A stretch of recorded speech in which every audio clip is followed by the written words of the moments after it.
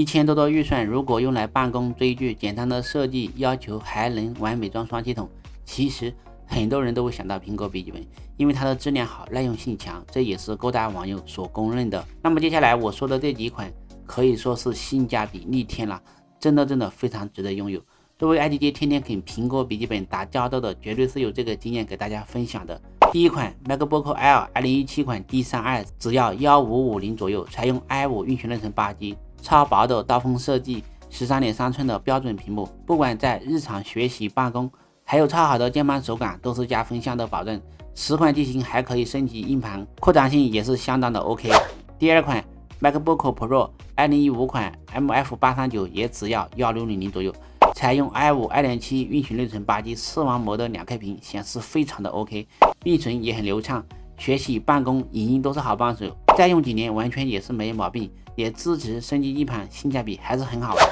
第三款 MacBook Pro 2017款 XQi 采用新一代的外观，虽然是 Pro，其实也有着很薄的机身，外放音效超级棒，也只要幺九零零左右就可以搞定。这些苹果笔记本想当年都是在一万八九。短短的几年，只要一千多一点，难道还不香吗？由于时间关系，我就暂时介绍这几款，升级二百五十六加两百就 OK。年份偏老的，其实还有更便宜的，我会留到下期再说。如果这个视频对你选购有帮助的话，点赞关注一下，不过分吧。